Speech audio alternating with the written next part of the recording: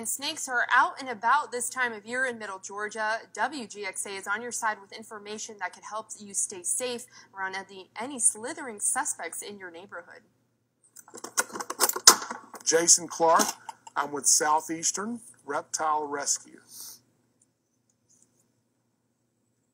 The real dangers of copperheads, cottonmouths, and rattlesnakes is the fact that their coloration is so cryptic. I mean, these snakes are designed in order to be invisible in their habitat. So you really have to be vigilant and watching where you step and watching where you put your hands and feet when you're outside. And when you do come across one, simply back up and leave him alone. He's not going to leave where he is and chase you down in order to bite you.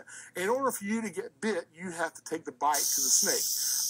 Uh, Andy Bozeman. Yeah, I'm a pediatric surgeon here at Fairview Specialist Pediatric Surgery in Dublin, Georgia, affiliated with Fairview Park Hospital. Rendering first aid for snake bite victim basically is to get the victim away from the snake, lay them down in a comfortable area, call for medical attention. Some of the things that are basically old wives' tales would be tourniquets. We never use tourniquets, you know, in snake bite. That actually uh, has a potential to do more damage. Um, the incision and suction. Perhaps you've seen that in the Western movies.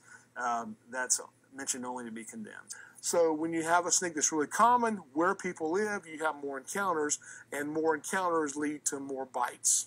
Leave these snakes alone, and they will gladly do the same thing for you.